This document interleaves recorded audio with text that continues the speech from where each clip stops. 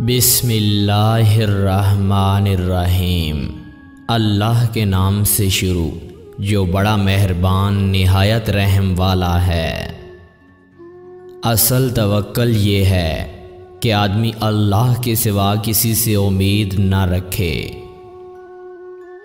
जो अल्लाह से डरता है, वो किसी से नहीं डरता, और तमाम चीज़ें उससे डरती हैं। और जो खुदा से नहीं डरता, वो हर चीज़ से डरता है। बहुत से आलिम ऐसे हैं जो बादशाह के पास दीन लेकर जाते हैं, लेकिन जब वापस आते हैं तो दीन वहीं छोड़ आते हैं। जिसने बखील से सवाल किया, उसने खुद को जलीलो ख्वार किया। जिसने ना शुक्र पर एहसान किया, उसने नेकी ज़ाया की। जिसका गुस्सा ज़्यादा है, उसके दोस्त बहुत थोड़े हैं। सच्ची दोस्ती ये है कि मुफलिसी में दोस्त की ज़्यादा इज़्ज़त की जाए। हलाल कमाओ और हलाल सदका करो।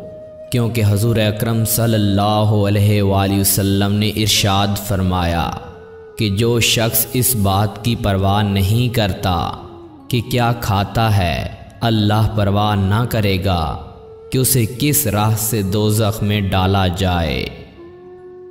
जो रियासत दुनिया का तालिब हुआ ख्वार हुआ।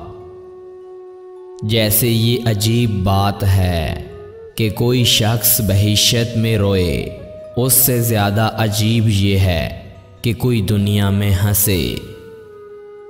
बाखुदा मेरे नज़दीक, जमात नमाज़ का छूट जाना, साले फर्जंद के मर जाने से ज़्यादा तकलीफ़ दे है। जो शख्स अमाल नेक को छुपाने में जादूगर से ज़्यादा होशियार ना हो, वो रियाकार है। ज़्यादा खाना और ज़्यादा सोना दिल को फासिद कर देता है।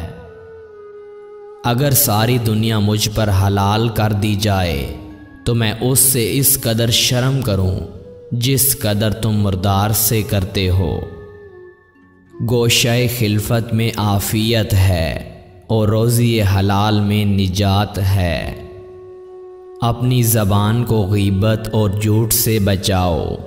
लोगों के साथ फजलियात में वक्त बर्बाद मत करो। तीन चीज़ों की तलाश ना करो, क्योंकि उनको कभी नहीं पाओगे। नंबर एक, ऐसा आलिम जिसका इल्म मीज़ान अमल से पूरा हो। नंबर दो, ऐसा अमल जिसका इखलास अमल के मवाफिक हो। नंबर तीन ऐसा दोस्त जो बेऐब हो।